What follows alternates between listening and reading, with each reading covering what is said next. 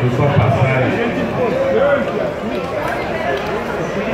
Cumprimentar nossos militantes, os nossos militantes, cumprimentar esse grande presidente do nosso partido, o deputado Pedro Tobias, nosso amigo Bruno Covas, vice-prefeito da capital, da cidade de São Paulo, da maior capital que nós temos. E quando eu ouço, Bruno, um, dois, três, palmas outra vez, eu começo a me lembrar do tempo de menino. A gente escutava isso quando o governador Mário Covas, que é o grande ícone do PSDB do Estado de São Paulo, chegava em cada um dos nossos municípios.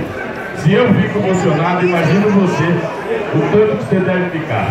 Mas completar todos e dizer que o Pedro Tobias fez um, teve um papel preponderante nessa, nessa caminhada até agora. O Pedro defendeu desde o primeiro dia, desde o primeiro dia, que o PSDB tivesse candidato a governador de São Paulo. Que ele não admitiria que o PSDB não tivesse candidato. Então isso foi que começou toda essa história. Por isso da grande mobilização que foi feita entre os vereadores, os deputados estaduais, deputados federais, senadora Luísio, os secretários é, do nosso do município de São Paulo, foi aí, Pedro, que começou a vira para defender o legado do PSDB de 24 anos no estado de São Paulo. E temos gente dentro do nosso partido que defende que esse legado se encerre agora. Que a gente tenha candidato de outro partido. Não é isso que nós queremos e não é isso que nós vamos ter.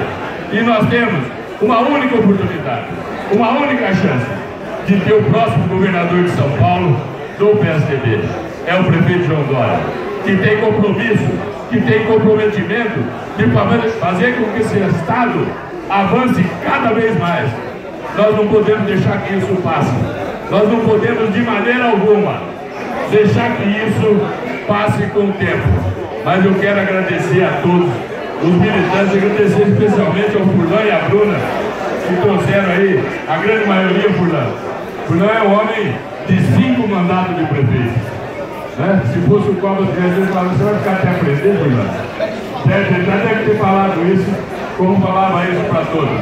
Mas parabéns, parabéns a todos nós, parabéns ao PSDB e mais uma vez, vamos rumo a uma vitória valorosa aqui no estado de São Paulo.